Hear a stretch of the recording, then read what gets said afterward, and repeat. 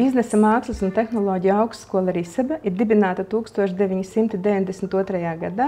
Pagājušajā gadā mēs nosvinējām 30 gadu jubileju. Biznesa mākslas un tehnoloģiju augstskola Risebe ir ļoti starpdisciplināra un mūsu devīze ir biznesa tiekas ar mākslu. To mēs realizējam sadarbojoties trim fakultātēm - biznesa un ekonomikas, arhitektūras un dizaina un mediju un mākslas fakultātē. Augstskolas Riseba attīstības stūrakmeņi ir ilgtspējīga izaugsme, digitālā transformācija, biznesa ietekme uz sabiedrību un starptautiskā konkurētspēja. Mēs tiecamies iegūt starptautiski atzītas lietišķās zinātnes universitātes uh, statusu, sagatavojot pasaulē konkurētspējīgus augsta līmeņa profesionāļus un sabiedrības līderus. Augstskolā ir vairāk nekā 2000 studentu.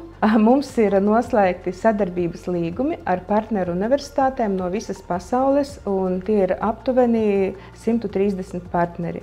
Mūsu absolventu klubs sastāv vairāk nekā no 14,000 absolventu.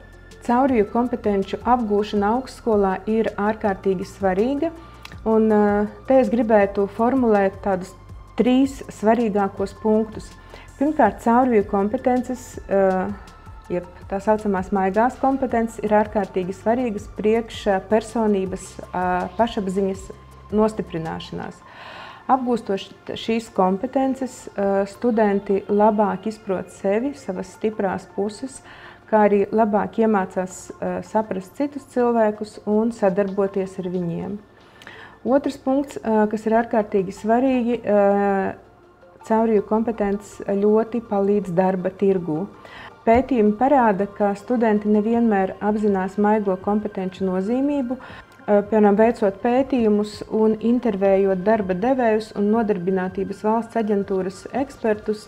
Pirms pāris gadiem mēs atklājām, ka atsevišķi studenti nepievērš tik lielu uzmanību tādām kompetencijām kā lēmumu pieņemšana, atbildība, kritiskā domāšana, savstarpējā pieņemšana un tā tālāk bet darba devēji norāda tieši uz to, ka daudziem, it sevišķi jaunajiem darbiniekiem, tieši šīs kompetences pietrūkst. Arī Sebē es vadu karjeras izaugsmes attīstības centru, un tā kā esmu arī Latvijas karjeras asociācijas biedrs, kurš palīdz un izveido vadlīnijas, integrējot sarvju prasmes izglītības procesos, man tika uzticēts ar rektoras vārdu īstenot šo aptauju mūsu augstskolā. 2022. gadā augstskolā Riseba maģistra darba ietvaros tika veikts pētījums par maigo prasmju un darba snieguma saistību. Maigās prasmes, jeb caurīju kompetences, ir ļoti saistītas ar cilvēka darba sniegumu, it sevišķi ar kontekstuālo darba sniegumu.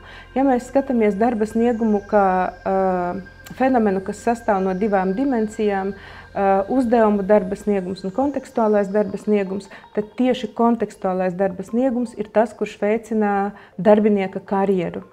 Balstoties uz vairākiem pētījumiem, arī ir uzsvērta, ka tā caurvīja kompetence ir ļoti svarīga, lai mēs gan integrētu ilgspēju mūsu ikdienā, lai pilnveidotu mūsu mācību procesus, lai uzlabotu mūsu darba tirgu un arī veicinātu tādu sabiedrības labklājību. Tāpēc arī saba interesēs ir piedalīties un attīstīt šo tēmu arī turpmāk. Lai veicinātu savu karjeru, cilvēkam ārkārtīgi labi jāsaprot savas stiprās puses, Viņam jāprot plānot laiku un sadarboties ar citiem cilvēkiem. Vēl jo vairāk tas ir aktuāli šobrīd, ārkārtīgi straujā pārmaiņu laikā, kad viss notiek ļoti ātri, ienāk tehnoloģijas dažādas mūsu ikdienā, sadzīvē un darbā.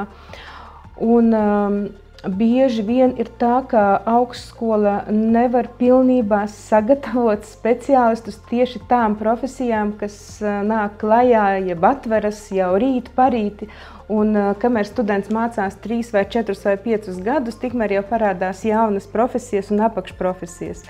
Un te ir ārkārtīgi svarīga tā gatavība katram absolventam, gatavība mācīties tālāk un plānot savu laiku. Un tad viņi apgūst tās bāzes profesionālās kompetences. Un, ja viņiem ir attīstījušās pietiekoši augstā līmenī caurviju kompetences, viņš iet tālāk, viņš var aiziet uz jebkuru uzņēmumu un pamācīties mēnesi, divus, un viņam bez maz vai jauna profesija jau ir rokā. Viņš ir konkurētspējīgs ne tikai Latvijā, bet visā pasaulē.